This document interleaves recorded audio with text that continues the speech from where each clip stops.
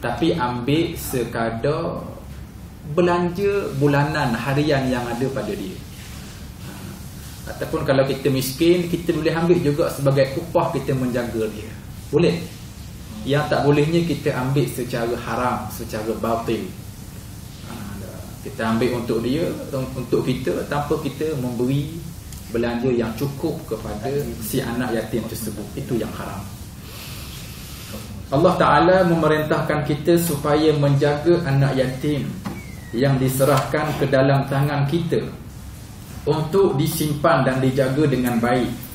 Sehingga anak itu mencapai usia dewasa dan dapat mengelolakan hartanya sendiri iaitu sebagai amanah Allah yang tentu sekali akan diberikan pahala yang besar. Di samping itu dia juga mengancam orang yang mensia-siakannya menipu atau memakan hartanya dengan sewenang-wenangnya dengan seksa yang berat kerana itu termasuk kiraan dosa besar.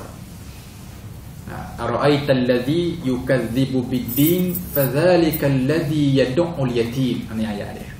Kita ingat belaka ayat ni kan? Allah tanya kita soalan ayat pertama Allah mulakan dengan soalan araaita allazi yukadzibu biddin? Kamu kenal ke golongan yang menipu agama. Kamu tahu ke orang yang membohongi agama? Orang yang membohongi agama ni jadi ayat ini kita dapat tahu tu dia hanya dikhususkan kepada orang Islam je lah. Nah, yang menipu yang membohongi agama.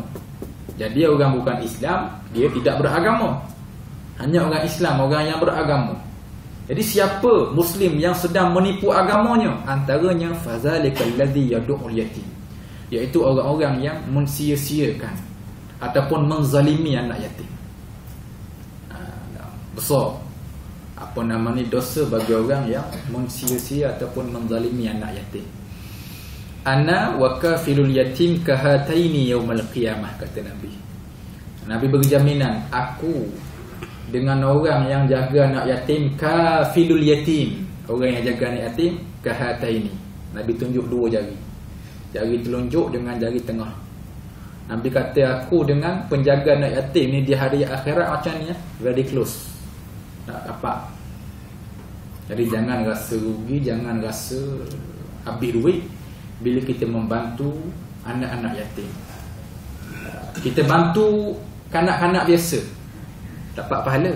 Kita membantu beri duit sebagainya dapat pahala. Tapi dengan kita membantu anak yatim double pahala dapat. Nah, sebab dia orang yang tidak ada kafil, orang yang tidak ada penjaga. Ayah dia meninggal dah. Nah, kita menzalimi kanak-kanak biasa dapat dosa. Zalim orang dapat dosa Tapi bila kita menzalimi anak yatim Double dosa Kelebihan yang agama berikan Kepada anak-anak yatim ni Sebab apa? Sebab tak ada orang jaga dia dah Ayah dia tak ada Mak dia mungkin meninggal Jadi dia di bawah jagaan Allah Allah jaga dia Membuat lebih kurang Dapat dosa yang besar Di sisi Allah subhanahu wa ta'ala Innal ladhina ya'kuluna amwalal yatama zulman innama ya'kuluna fi butunihim nara wa sayaslawna sa'ira. An-Nisa ayat 10. Sesungguhnya orang yang makan harta anak yatim dengan aniaya, yakni zalim, tidak benar, sebenarnya mereka itu sama dengan memasukkan api ke dalam perut mereka. Nanti mereka akan menduduki neraka yang menyala-nyala. Allahu Rabbi. Nah, benda haram ni apa yang kita makan ia jadi api ia akan membakar kita. Kullu la'min nabata min haram fan-naru awla bih. Setiap perkara setiap daging yang tumbuh dari makanan minuman yang haram an-nar neraka layak bagi mereka. Oleh iazubillah. Kita kena jaga. Nah, benda yang haram ni bukan hanya makan je lah. Jangan kita hanya fikir makan. Nah, sebab makan disebut makan sebab itu asas. Ah, dah. Jadi jangan kita faham makan je dah pakaian, kenderaan, tempat tinggal. Dah, beli, curi, rasuah boleh ke? Dah, haram juga. Cuma makan disebut kerana dia asas. Ah, asas.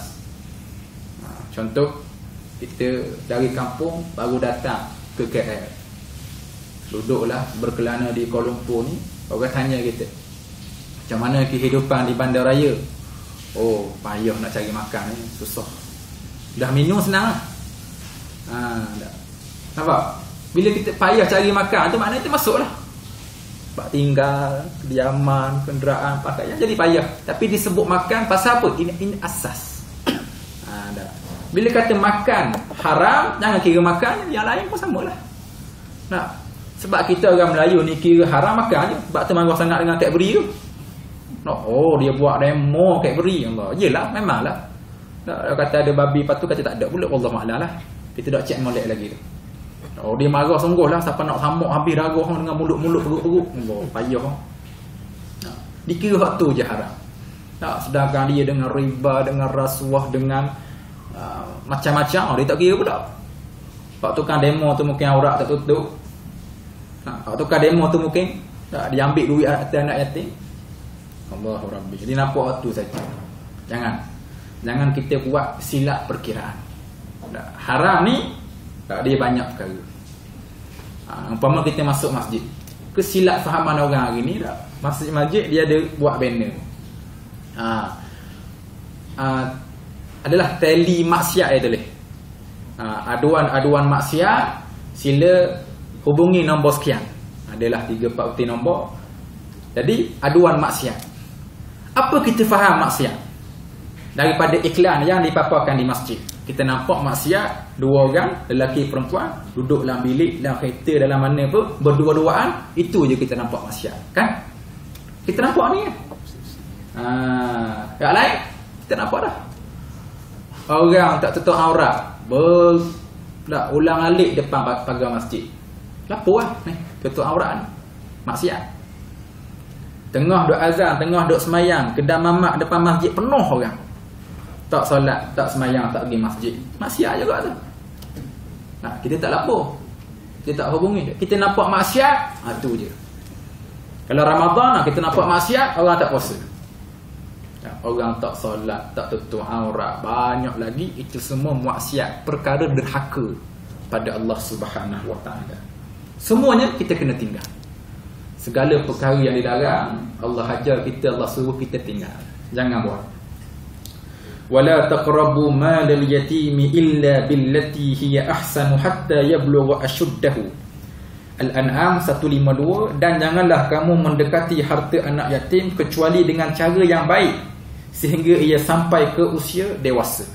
Ha, Ambil boleh harta anak yatim sekadar keperluan.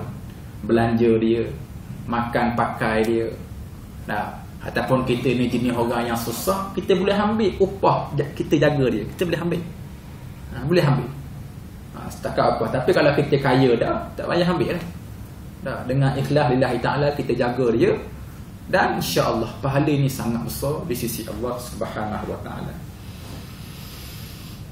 Daripada Abu Sa'id Al-Khudri Mengatakan Bahawa Rasulullah Sallallahu alaihi wasallam bersabda sehubungan dengan bicaranya mengenai Isra' dan Mi'raj.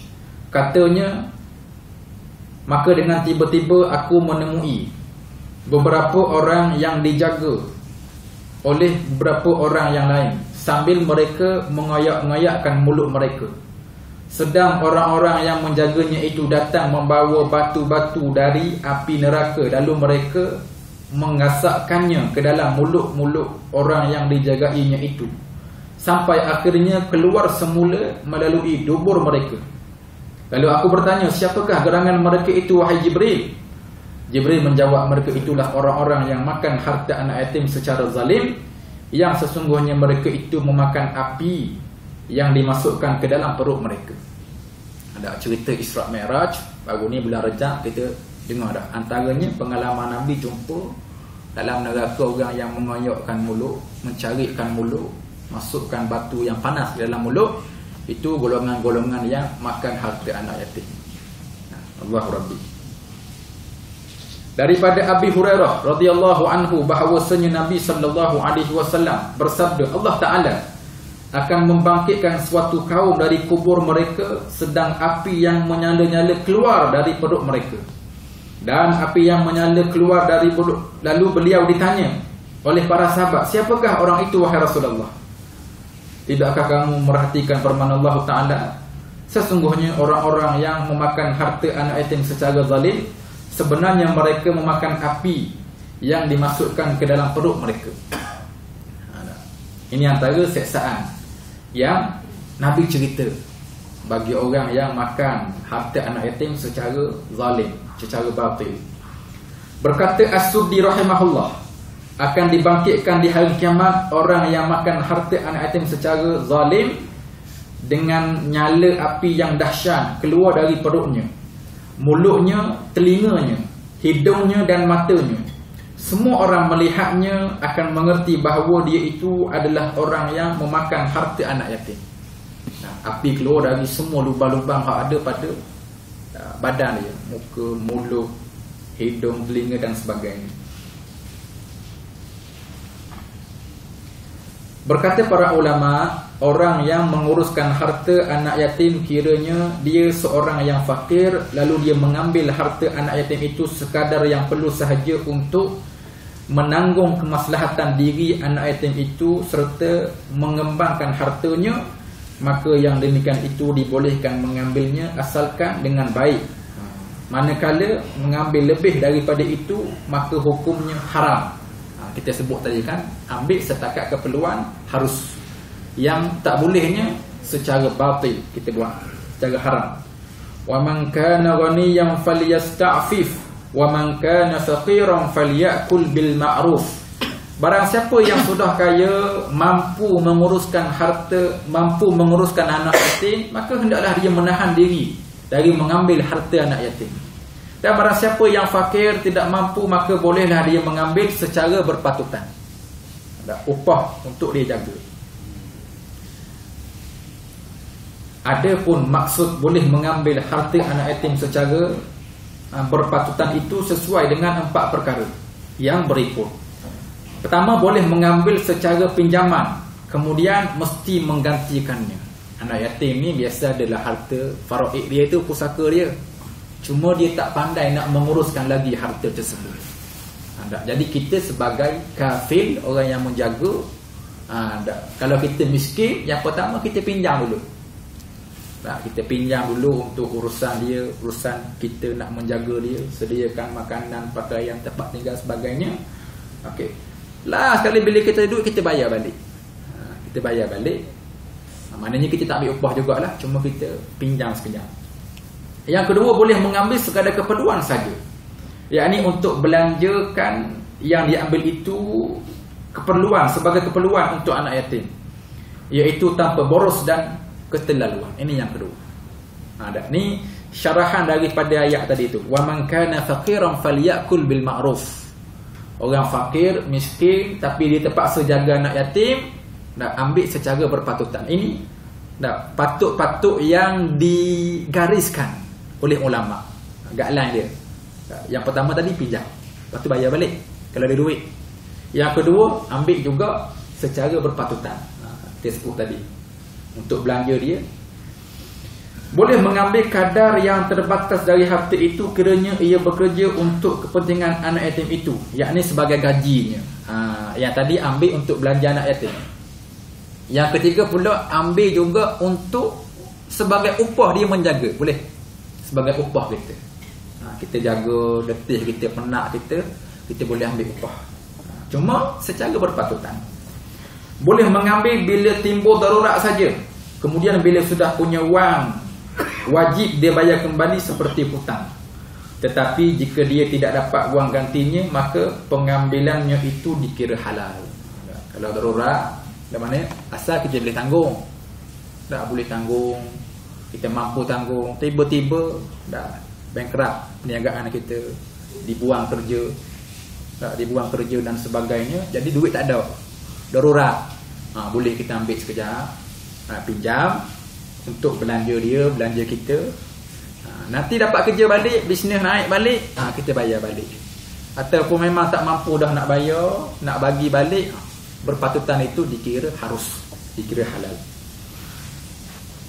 Keempat-empat pendapat ini disebutkan oleh Ibnul Ibnul Jauzi dalam tafsirnya. Nah, namun dalam sahih Bukhari tersebut hadis Nabi sallallahu alaihi wasallam ah ni ana wa kafilul yatim fil jannati hakadha wa asyara bis sababah wal wusta wa farraja bainahuma. Aku dan penjaga anak yatim di syurga nanti seperti ini. Nabi tunjuk dua tadi tak sababah sababah jari tunjuk wusta jari jari tengah tak stop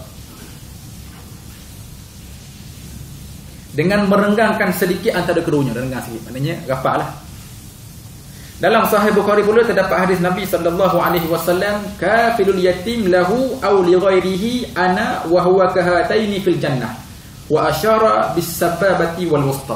Ha, sama. Cuma lafaz yang ada sedikit beza cuma maksudnya aku dengan penjaga anak yatim dalam syurga begini. Apa adapun memelihara anak yatim itu ialah mengurusi semua keperluannya serta menjaga kepentingan hidupnya sehari-hari. Dari makan minum, pakaian, tempat tinggal, kenderaan. Juga memperkembangkan harta bendanya jika sang anak itu mempunyai harta. Kita buka labur bisnes ke apa ke yang penting untuk keuntungan anak bukan untuk keuntungan kita untuk keuntungan anak tersebut jika anak yatim itu tidak mempunyai apa-apa harta, maka si anak yatim itu diberikan belanja hidupnya dari makan minum, pakaian kerana mencari redha Allah Subhanahu Wa Taala. Orang yang nampak pahala, nampak redha Allah, nah, dia akan buat perkara-perkara dalam dunia. Orang yang nampak dunia saja payah. Tak minat dunia, minafik dunia sebagainya payah. Jadi sebab tu bila kita buka Quran, habis Fatihah ada surah Al-Baqarah. Alif Lam Mim Zalikal Kitabu La Raiba Fih Hudan Lil Muttaqin Alladhina Yu'minuna Bil Ghaib. Alif Lam Mim Inilah kitab yakni Al-Quran La Raiba Fih Tidak ada keraguan. Tak. Mesti yakin sungguh-sungguh dengan kitab Al-Quran. Hudan Lil Muttaqin Menjadi petunjuk kepada orang yang bertakwa. Apakah ciri-ciri orang yang bertakwa? Allah sebut Alladhina Yu'minuna Bil Ghaib iaitu orang yang beriman dengan perkara gaib. Perkara gaib ni apa? Bukan hatu polong toyo tu bukan. Nak perkara gaib berkaitan dengan syurga, neraka, dosa, pahala. Nah, ha, ini uh, perkara gaib. Gaib lagu mana? Kita tak kita tak, tak nampak. Tak cerita bab solat Jumaat 27 pahala. Nampak pahala?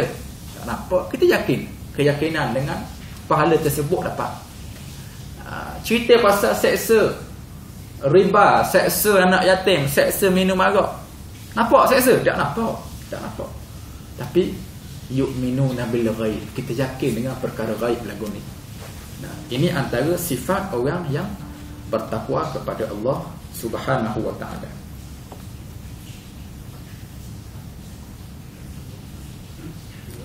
Sabda Nabi lagi, Man dhamma yatiman minal muslimina ila ta'amihi wa syarabihi hatta yughniyahu Allah Ta'ala awjaba Allah lahu al-jannah illa an ya'mala dhanban la yughfar.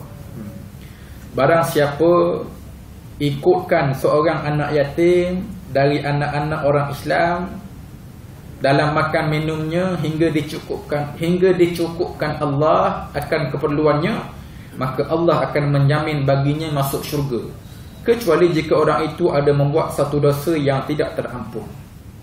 Nah, jadi Nabi kata orang yang jaga anak yatim daripada kecil hingga besar cukupkan segala keperluan, tak belajarnya, makan, pakai, kenderaan, tempat tinggalnya, tak orang ni Nabi jamin syurga. Ha, kemudian Nabi letak syarat sikit.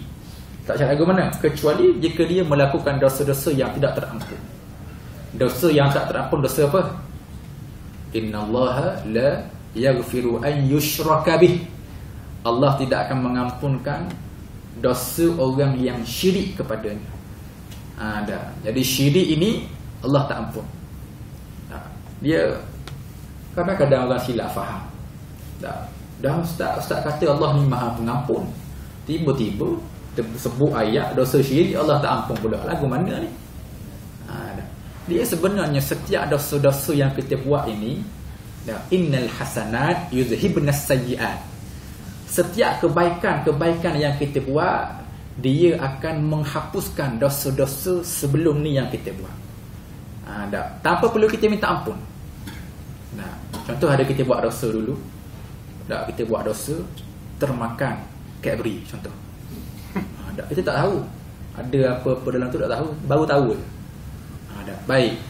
Lama-lama kita jumpa anak yatim, kita bantu, tolong, beri duit sebagainya. Al-hasanat yuzhibna sayyi'at. Kebaikan bantu anak yatim insya-Allah dia akan menghapuskan dosa tadi tu. Maknanya tak perlu samak lah Masuk pasir dalam mulut ke samak perut Tak payahlah Dengan bantu anak yatim tu insyaAllah dosa-dosa kita diampunkan ha, dah. Ini maksudnya ha, dah. Mana Ni tak perlu istighfar Tak perlu minta ampun ni dah. Yang minta ampun tu lebih lagi lah Lebih lagi.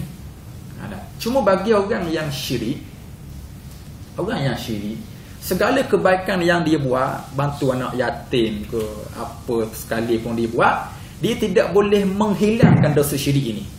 Kecuali orang itu betul-betul kena bertaubat nasuha. Ha, Allah ampun dosa orang syirik ini Allah ampun cuma dia kena betul-betul bertaubat. Kerana arahkan kepada saham daripada kebaikan-kebaikan dia tidak akan mengampunkan dosa syirik tersebut. Itu maksudnya kan? Ha, boleh faham? Maksud Allah tak ampun dosa syirik dengan makna kebaikan-kebaikan yang dibuat. Tak boleh nak menghapuskan syirik tersebut. Yang penting dia kena dengan taubat yang nasuhah taubat yang sungguh-sungguh. Ha, jadi kita jangan bimbang lah. Kita pun baca doa Allahumma innaka afun ya Allah sesungguhnya engkau ni afun afun dengan makna apa? Sangat pemaaf. Sangat pengampun afun maha pengampun ha, tuhibbul afwa dan engkau ni sangat suka memaafkan hamba-hambamu. Allah beritahu hobi dia. Apa hobi Allah? Suka memaafkan hamba dia. Suka memaafkan hamba dia. Kadang-kadang hamba tu tak minta ampun pun. Kadang-kadang hamba tu tak istighfar pun pada dia. Tapi dengan sebab hobi Allah ni suka memaafkan hambanya, dia boleh memaafkan hamba dia. Kan? Cerita apa nama ni perempuan pelacur yang beri makan kepada anjing ataupun kucing. Allah ampun dosa masuk syurga. Ha, ampun dosa dengan kebaikan yang dia buat. Kadang-kadang kita tak tak ada nak mikir keampunan Allah ni sangat luas. Macam mana dia yang berzina Allah ampun? Keampunan Allah sangat luas, sangat luas. Ya. Tuhibbul afwa, hobby Allah. Suka mengampunkan, suka memaafkan hamba dia. Hobi kita apa? Hobi kita? Nah, banyaklah hobi kita ha, dah, itu ini macam-macam hobi. Ha, sebab tu pakai motivasi sebut dah kalau kita nak bekerja nak berkerjaya nanti cari kerja yang kena dengan hobi. Baru sedap buat kerja. Pasal hobi ni kita sedih sakit malah gaji kita tak nak buat. Sebab dia hobi. Ha, dan kita akan suka buat. Hmm. Tengok kaki pancing. No. oh dahsyat kaki pancing. Dan dia minat hobi dia memancing. Keluar subuh balik subuh lah jawab dia. Kadang-kadang ikan seekor pun tak ada. Nah, tapi dia punya hobi tu gila kat beri lah nak hobi dia tu. Dahsyat. Oh, kat beri saja dia ini pasal geram-geram kamu mana dah kita dengan kat beri ni daripada kecil dulu dia makan-makan Mungkin ada coklat IQ Ustaz Taufik buat Ilmu tak ada lagi ni tak bawa hmm. Mana dah? Baik Ah ni cara Nabi ajar cara kita, kita nak melayani anak yatim. Sabda Nabi man masaha ra'sa yatiman la yamsahuhu illa Allah. Kana lahu bi kulli sya'ratin marrat 'alayha yaduhu hasanah wa man ahsana ila yatim aw yatimah indahu kuntu ana wa huwa hakadha fil jannah.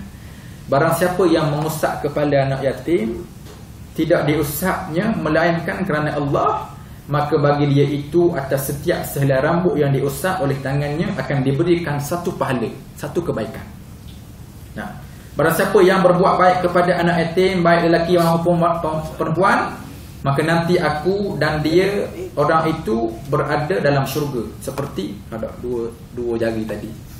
Ha, jadi cara kita nak melayani anak yatim ataupun mana-manalah budak kita jumpa tu sak kepala. Ini sunnah. Ha, kita jumpa. Tak jumpa budak-budak mana-mana ke ataupun lebih-lebih anak yatim tak usah ha, tak usah ada juga ulama sebut ha, usap ini usap kepala uh, lambang orang Arab lambang kasih sayang dia. Ha, cuma mungkin lambang kasih sayang kita orang Melayu lain kita tak usap. Kita ambil kita cium pipi dia dah kita main lah comel-comelnya comelnya dia ha, dah. Tanda kasih sayang kita. Itu pun boleh juga. insyaAllah ada kebaikan. Ha, dah. cuma kita nak ikut betul-betul dengan apa yang Nabi sebut kita usap kepala usap kepala. Ha, usap ha, kepala anak yatim. Ha, jangan usap kepala mak anak yatim tu. Tak jadi lain ada orang sebut lagu tu kan ada orang reka mana hadis orang siapa yang mengusap kepala anak yatim dan mengusap kepala mak anak yatim tak ada kelebihan-kelebihan. Ada orang reka hadis ni. Tak ada betul. Anak yatim saja. Mak jangan disentuh. Nak bahaya Maksud seperti ini yakni seperti jari-jari yang terkumpul iaitu sebelah menyebelah. Nah, maknanya sapu usap kepala. Hmm. Tapi kadang-kadang orang lain tak boleh kepala kan. Oh ni bayar fitrah ni. Tak boleh sentuh kepala. Harap dia biasa dengan kepala. Tanda kasih sayang dia. Pernah seorang lelaki datang kepada Abu Darda lalu berkata kepadanya, "Berilah aku pesanan." Kata Abu Darda, kasihanilah si yatim dan dekatlah dekatkanlah dia itu kepadamu. Kemudian engkau berikanlah dia dari makan minummu. Sebab aku pernah mendengar Nabi sallallahu alaihi wasallam ketika datang kepadanya seorang lelaki mengadu hatinya telah menjadi keras. Lalu Nabi bersabda idza aradta an yalina qalbuka fadnil yatima minka wamsah ra'sah wa athimuhu min ta'amika fa inna dzalika yulinu qalbak wa taqdiru ala hajatika. Jika engkau ingin supaya hatimu menjadi lembut maka hendaklah engkau selalu mendekatkan anak yatim kepada dirimu. Mendampingi anak yatim. Usaplah kepalanya dan berilah dia makan dan minum. Sebab yang demikian itu akan dapat melembutkan hatimu dan menyampaikan keperluanmu. Nampak rasa kerah hati hati ni payah. Dah nak masuk hidayah. Dah kerah sangat. Dah suka dengan perkara-perkara maksiat. Dekatkan dengan anak yatim. Ha dah banyakkan rumah anak yatim. Dah tu ada misi tu ada tabung tu. Untuk anak yatim juga tu kan orang miskin di kedah. Dah masuklah anak kita beri rumah kita. Ha. Dan ia juga dengan bantuan sebegini boleh menyampaikan hajat kita. Ha, kita ada hajat. Tak macam ada hajat ni. Ada saudara kita ayahnya sakit. Haji Abbas kita nak buat solat hajat nanti. Tak, anak-anak ni, anak-anak kalau dia pandai lagu mana nak menyembuhkan ayah yang sakit. Tak, satu solat hajat lah ikhtiar dia. Tak, satu lagi dengan memberi, kita bersedekah. Tak, bantu anak yatim, bantulah mana-mana masjid, pusat-pusat apa pun asalkan untuk kebaikan dah. Ha, jadi wa taqdiru ala hajatika. Dia boleh menyampaikan hajat kamu. Menyampaikan keperluan kamu. Ha, ini cara dia. Solat hajat tu salah salah satu cara. Dah kita solat. Ha, dan kita memberilah. Dah dan ada sebagian ulama kata memberi menderma bersedekah itu lebih cepat menyampaikan hajat daripada solat hajat. Ha, pasal kaedahnya kita menyenangkan orang secara otomatik Allah akan menyenangkan kita. Ha, itu itu sifat sifat mudah nah, kita bantu orang Allah bantu kita. Ha, begitu. Baik. Cerita-cerita di sini terlalu banyak apa nama ni. Cerita-cerita yang yang yang, yang tidak tidak sahih ni. Jadi kebaikan untuk anak yatim ni sangat banyak kita boleh rebut peluang lah. Buat kebaikan. Nah, pasal apa? Pasal kebanyakan orang tak nampak kebaikan pada anak yatim. Pasal dia nampak. Sama maklum nampak hal dunia. Apa faedah aku bantu anak yatim? Dah siapa nak bayar aku? Siapa nak puji aku? Ayah dia pun tak ada. Jadi tak ada kebaikan. Macam Nabi sallallahu alaihi wasallam kan masa kecil Nabi lah yatim nak ada orang badui ni mari ke Mekah nak ambil anak-anak orang kaya di Mekah ni nak dijadikan anak sesuai. Tapi Nabi kita orang pakat tambah. Pasal dia anak yatim. Allah anak yatim. Nak beli dia anak yatim. Ayah tak ada dah miskin. Upah apa kita dapat? Nak, nak beri tak ada. Orang tak nampak. Dah adanya apa Halimatus Sa'diyah kan ada uh, Halimatus Sa'diyah oleh kerana dia mari tak ada dah. Ni seorang aja, tak apa dah. Mungkin berkat dia ni nama Muhammad uh, bin Abdullah Muhammad orang yang terpuji kita ada. Ya, memang sungguh dia ambil banyak keberkatan yang dapat pada keluarga uh, Sa'diyah ini. Uh, isterinya, anaknya, suaminya Allah rezeki melimpah ruah. Pasal apa? Kebaikan yang diberikan kepada anak yatim Allah balas. Anak yatim itu adalah satu anak yatim bakat Nabi pula bakat Rasul pula lagilah diberi kebaikan yang berganda-ganda oleh Allah Subhanahu Wa Taala. Kalau kita boleh fikir lagu ni insya-Allah. Ya insya-Allah jadi senanglah. Orang apa senang? Kita ada duit kita beri. Ada rezeki kita bantu orang. Dan Allah beri lebih kita bantu lebih. Jadi orang pun dapat kebaikan dan kita pun akan sentiasa mendapat kebaikan dari Allah Subhanahu Wa Taala. Nah, Ha, baik, disebut sikit di sini di samping kita membantu anak yatim, ha, juga dibahaskan oleh ulama, kita ada ruang juga untuk membantu si ibu tersebut. Ha, si ibu yang janda yang kita panggil armalah. Ha, armalah. Comel sikit laku armalah ni. Janda macam nampak tu sikit kan. Armalah nampak comel. As-sa'i 'alal armalah wal masakin kal mujahidina fi sabilillah. Orang yang berusaha untuk membela nasib wanita janda dan orang-orang miskin sama seperti orang yang berjuang pada jalan Allah Subhanahu wa taala. Ha. Bantulah. Si ibu tadi tu Karmalah. Lagu mana? Kahwin ke? Beri bantuan untuk dia jaga anak-anak dia. Dah bermacam-macam dan berbagai-bagai keperluan yang kita boleh bantu. Ha. Si ibu tersebut. Berkata perawi hadis ini lagi, aku kira bahawa Nabi ada mengatakan juga sebagai sambungan kepada hadis di atas iaitu orang itu juga seperti orang yang bangun malam bersolat tahajud yang tidak tahu penat lelahnya dan juga seperti orang yang berpuasa yang tidak henti-henti. Ha, sama kita bantu ni sama macam kita bangun tahajud, tak henti-henti, tak tidur malam. Dia ceritakan oleh guru saya. Dia dia mengaji di Jordan. Syekh dia di Jordan ni dia mengajar di di universiti Lepas tu biasalah solat berjemaah dekat masjid yang berdekatan. Ha, jadi dia tengok, dia perhati Tok Syekh dia ni, guru saya ni. Dia dia perhati, dia ceritalah dia Tok Syekh dia. Tok Syekh dia ni mari solat asal lepas solat jemaah saja kerja dia dia profesor pensyarah orang PhD lah tak lepas solat je kerja dia dia beraksi seperti tok siap di masjid dia cari daripada hujung sana sampai hujung sana dia tengok sampah-sampah ada dalam masjid. Dia akan kutip kutip kecil-kecil kecil sampah tu. Nah, daripada tahun pertama dia tengok hingga tahun terakhir perangai Tok Syekh dia, Tok Guru dia, syarah dia. Nah, dan bila keluar masjid ada budak-budak minta sikit di rumah tu bagi. Tak pernah potong ni, bagi 20%, 50%, RM1 bagi. Bagi bagi. Hinggalah last. Lah akhir nak balik dah. Jadi habis belajar dah nak balik ke Malaysia. Jumpa dah Syekh ni buat-buat majlis perpisahan lah. Tak tanyalah. Tak hati ke hati Tok Syekh nak tanya sikit ni. Dah nama dah saya perhati Tok Syekh ni. Nah, dulu buat apa nama ni kutip pada ada dah pekerja Tok Syekh ada dah.